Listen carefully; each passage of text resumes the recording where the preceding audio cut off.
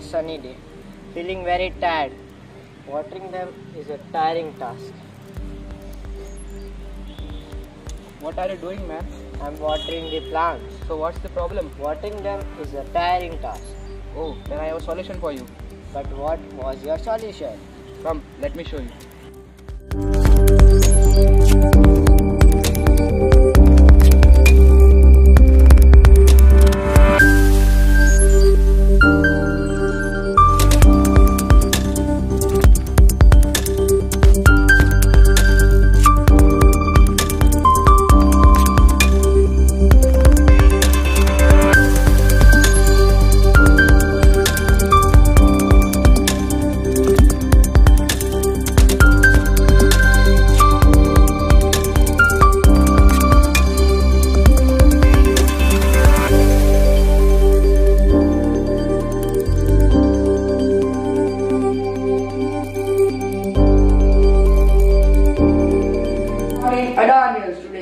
Today I, Mitrachi Jadeja And I, Raj Khanna. And I, Naitik Joshi. from class 8 Snowdrops, Adani Public School, Mundra. Today we are here to present our 8-year project which is based on agriculture.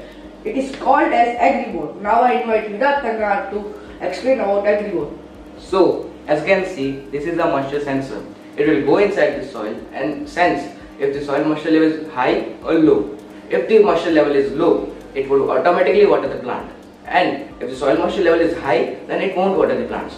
So the components of the project are a moisture sensor, ice cream sticks, a pipe, some jumper cables, a battery, a relay, and a motor, and a half bottle, and a EVIO, and a Bluetooth module.